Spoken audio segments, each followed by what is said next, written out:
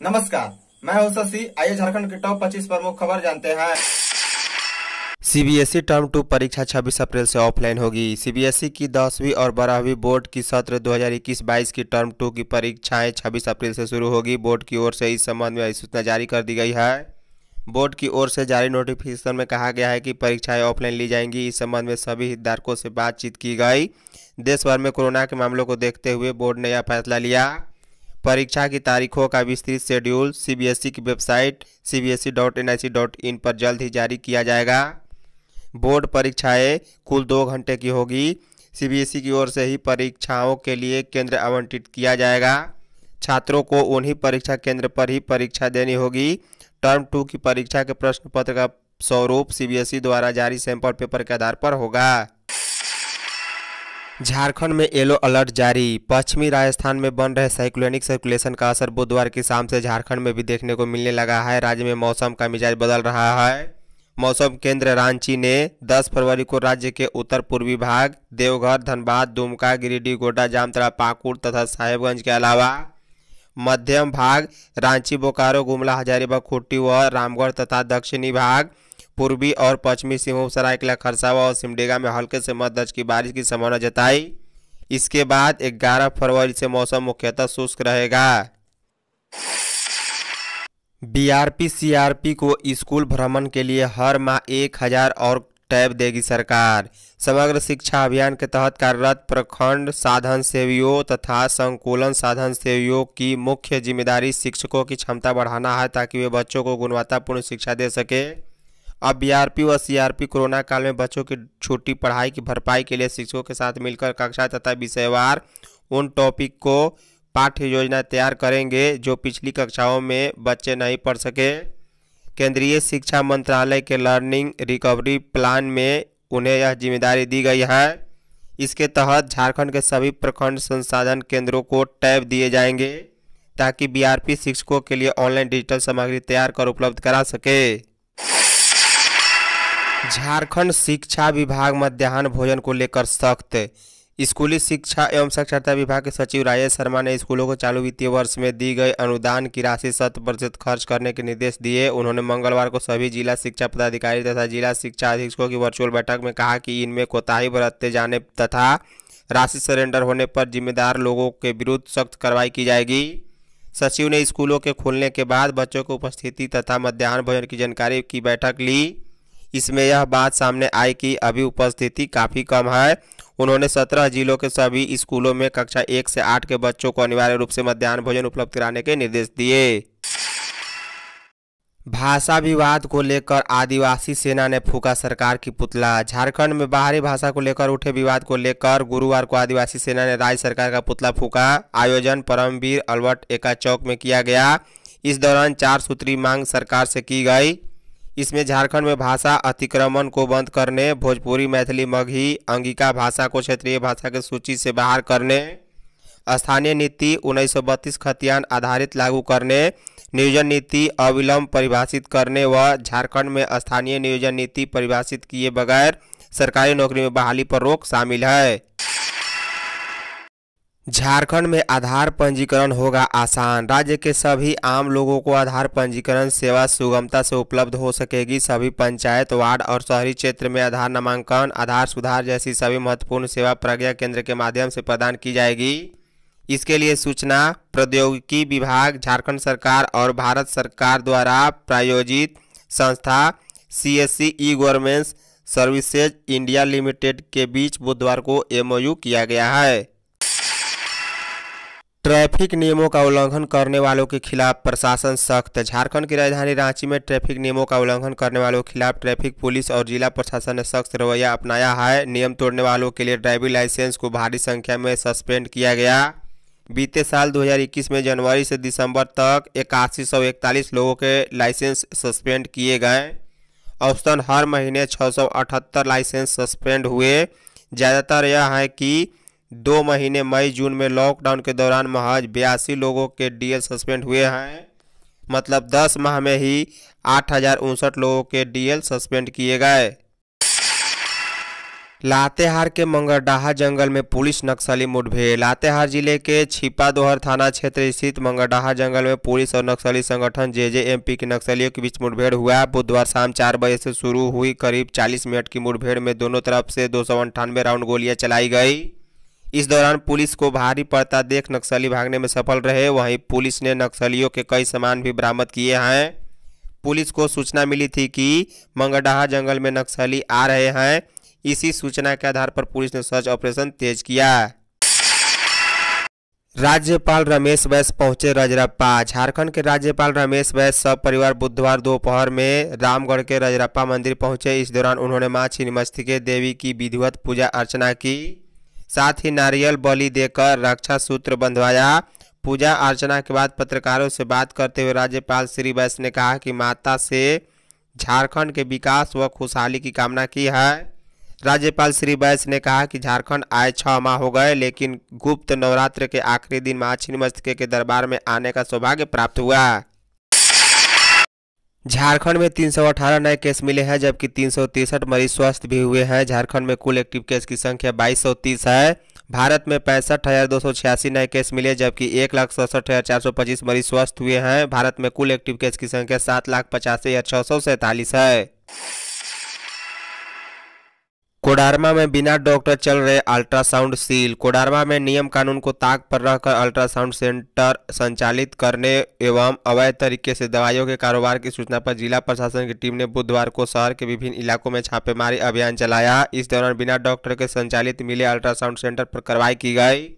प्रशासनिक टीम ने डॉक्टर गली में संचालित पवन श्री अल्ट्रासाउंड व राजगढ़िया रोड में संचालित एडवांस अल्ट्रासाउंड को सील कर दिया है। वहीं माइका गली में एक मकान में बिना लाइसेंस के भारी मात्रा में दवाइयों का स्टॉक बरामद हुआ। इसमें कई दवाइयाँ एक्सपायरी व प्रतिबंधित थी। ऐसे में उक्त गोदाम को भी सील कर दिया गया। डीजीपी नीरज सिन्हा की बड़ी मुश्किलें। सुप्रीम कोर्ट में झारखंड सरकार और पुलिस महानिदेशक डीजीपी नीरज सिन्हा के खिलाफ लंबित अवमानना याचिका को तत्काल सुनवाई के लिए दाखिल याचिका पर सुनवाई हुई। सुनवाई के दौरान chief justice N V Ramana, justice A S Bopanna और जस्टिस हेमा कोहली की तीन सदस्यीय पीठ ने कहा कि वह इस मामले को ज़्यादा सूचीबद्ध करने पर विचार करेगा। प्रार्थिक याचिका में आरोप लगाया गया है कि नीरज सिन्हा 31 जनवरी को सेवानिवृत्त होने के बाद भी काम कर रहे हैं। झारखंड में हट सकते हैं प्रोन्नति पर रोक। गुरुवार को आयोजित राज्य कैबिनेट की बैठक कई मायनों में महत्वपूर्ण होने जा रही है और अभी तक की तैयारियों के अनुसार इस बैठक में प्रोन्नति पर लगी रोक हटाने को लेकर कार्मिक विभाग के प्रस्ताव पर चर्चा संभव है। प्रोन्नति पर लगी रोक हटनी तो है ही, इसे एक समय सीमा के अंदर हटाने की तैयारियों में सरकार लगी है। कैबिनेट की बैठक में संविदा कर्मियों को महँगाई भत्ता बढ़ाने को लेकर भी निर्णय लिया जा सकता है। छठे वेतनमान के तहत संविदा पर कार्यरत कर्मियों को अब महँगाई भत्ता पचासी प्रतिशत तक बढ़ाने की बात कही गई है। जेएसएससी और सरकार से हाई कोर्ट ने पूछा, उम्र का कट ऑफ़ डेट निर्धारण का क्या है आधार? झारखंड हाई कोर्ट के जस्टिस राजेश शंकर की अदालत में स्नातक स्तरीय संयुक्त प्रवेश प्रतियोगिता परीक्षा में उम्र के कट ऑफ़ डेट में बदलाव के खिलाफ दाखिल याचिका पर सुनवाई हुई। सुनवाई के बाद अदालत ने राज्य सरकार और जेएसएससी से जवाब मांगा। अदालत ने पूछा है कि इस नियुक्ति के लिए जारी विज्ञापन में उम्र का कट ऑफ़ डेट किस आधार पर निर्धारण किया गया है? पूर्व में इसी नियुक्ति में जब प्रार्थी आवेदन के लिए आहारता पूरी करता था तो उस विज्ञापन को रद्द करते हुए उम्र के कट ऑफ़ डेट में क्यों बदलाव किया गया? इस मामले में अगली सुनवाई 11 फरवरी को होगी। इस संबंध में मनोज कुमार की ओर से हाई कोर्ट में याचिका दाखिल की गई है। स्वास्थ्य मंत्री उत्तराखंड चुनाव प्रचार के लिए रवाना। स्वास्थ्य मंत्री बन्ना गुप्ता को उत्तराखंड चुनाव प्रचार की ज़िम्मेदारी दी गई है। केंद्रीय नेतृत्व के निर्देश पर वे बुधवार को उत्तराखंड के लिए रवाना हुए। दो दिवसीय दिल्ली दौरे के बाद केंद्रीय नेतृत्व के निर्देश पर स्वास्थ्य मंत्री बन्ना गुप्ता उत्तराखंड चले गए। वे चुनाव प्रचार की बागडोर संभालेंगे। स्वास्थ्य मंत्री बन्ना गुप्ता सामाजिक समीकरण के तहत चुनावी अभियान में हिस्सा लेंगे। स्वास्थ्य मंत्री बन्ना गुप्ता 12 फरवरी तक उत्तराखंड में ही रहेंगे। भाषा तथा स्थानीय नीति को लेकर 7 मार्च को घेराव करेगी आईसू। जनजातीय एवं क्षेत्रीय भाषाओं तथा स्थानीय नीति को लेकर आईसू पार्टी 7 मार्च को विधानसभा घेराव करेगी। घेराव की रूपरेखा तैयार करने को लेकर शुक्रवार को आईसू पार्टी के केंद्रीय अध्यक्ष सुदेश कुमार महतो, सभी जिला प्रभारी प्रवक्ता, कोषाध्यक्ष एवं सोशल मीडिया प्रभारी के साथ रांची स्थित केंद्रीय कार्यालय में बैठक करेंगे। पार्टी के केंद्रीय मुख्य प्रवक्ता डॉक्टर देव शरण भगत ने बताया कि बैठक में राज्य की वर्तमान स्थिति के साथ साथ सदस्यता अभियान एवं जन संग्रह धन संग्रह अभियान को लेकर विस्तृत चर्चा की जाएगी। राष्ट्रीय मतदाता जागरूकता प्रतियोगिता 15 मार्च तक लिए जाएँगे आवेदन। पहली बार राष्ट्रीय मतदाता जागरूकता प्रतियोगिता का आयोजन होने जा रहा है। मेरा मत मेरा भविष्य, एक वोट की शक्ति थीम पर प्रतियोगिता का आयोजन किया जा रहा है। इसके लिए 15 मार्च तक आवेदन लिए जाएँगे। मंत्रिमंडल विभाग ने बुधवार को इसकी अधिसूचना जारी कर दी है। राष्ट्रीय मतदाता दिवस 2022 के अवसर पर भारत निर्वाचन आयोग द्वारा पहली राष्ट्रीय मतदाता जागरूकता प्रतियोगिता शुरू की गई। हर एक मत के महत्व को विभिन्न रचनात्मक माध्यमों से समझाने के उद्देश्य से थीम तय किया गया है। रांची जिलों में सात सौ अड़सठ पुलिस जवानों की तबादला। रांची जिलों में थाना और ओपी तथा हाउस गार्ड के रूप में एक ही जगह कई वर्षों से तैनात सात सौ अड़सठ पुलिस जवानों का तबादला कर दिया गया है। कई वर्षों से इन जवानों का तबादला नहीं हुआ था। तबादला नहीं होने के कारण इन जवानों को काफ़ी परेशानियों का सामना करना पड़ रहा था। यह जवान कई बार तबादले के लिए वरीय अधिकारियों से गुहार लगा चुके थे। उन्हें हर बार आश्वासन तो मिलता था, लेकिन तबादला नहीं होता था। इस कारण सभी जवान निराश हो चुके थे। बावजूद सभी ने अपना प्रयास जारी रखा। प्रधानमंत्री कौशल विकास से झारखंड में रोज़गार। प्रधानमंत्री कौशल विकास योजना सहित अनेक कौशल योजनाओं से अब तक झारखंड में एक लाख सोलह हज़ार एक सौ छप्पन अभ्यर्थियों ने प्रशिक्षण लिया। इनमें अस्सी हज़ार बावन अभ्यर्थियों को प्रमाण पत्र भी दिया गया। वहीं छब्बीस हज़ार छः सौ इकहत्तर अभ्यर्थियों को झारखंड में विभिन्न संस्थानों के माध्यम से नौकरी दिलाई गई। रांची के सांसद संजय सेठ के पूछे गए सवाल पर केंद्रीय कौशल विकास राज्य मंत्री राजीव चंद्रशेखर ने लोकसभा में यह जानकारी दी। मंत्री ने बताया कि इन परियोजनाओं से देश भर के दो करोड़ इक्कीस लाख बासठ हज़ार सात सौ तिरासी अभ्यर्थी जुड़े हैं। झारखंड में मनरेगा घोटाले में डीसी ऑफ़िस तक पहुँचता था कमीशन। ईडी ने खुट्टी में 18 करोड़ रुपए के मनरेगा घोटाले में झारखंड उच्च न्यायालय में शपथ पत्र दायर कर दिया है। ईडी झारखंड के सहायक निदेशक मंतोष कुमार ने उक्त शपथ पत्र दाखिल किया। शपथ पत्र के अनुसार खुट्टी में कनीय अभियंता के पद पर तैनात राम विनोद प्रसाद सिंह ने उपायुक्त कार्यालय का सहयोग लेकर खूब भ्रष्टाचार किया। इसके लिए उसने उपायुक्त कार्यालय को कमीशन भी दिया है। झारखंड के कई सांसदों ने राष्ट्रपति से की मुलाकात। भोक्ता व पुरान जाति को अनुसूचित जनजाति में शामिल करने संबंधित संविधान संशोधन बिल राज्यसभा में पेश होने के बाद झारखंड में राजनीतिक हलचल तेज हो गई। भोक्ता के बाद अब यहाँ कुर्मी महतो समुदाय को आदिवासी का दर्जा देने की मांग तेज हो गई है। भाजपा और आयसू ने इस मुद्दे को लपकते हुए मंगलवार को राष्ट्रपति भवन की राह पकड़ी।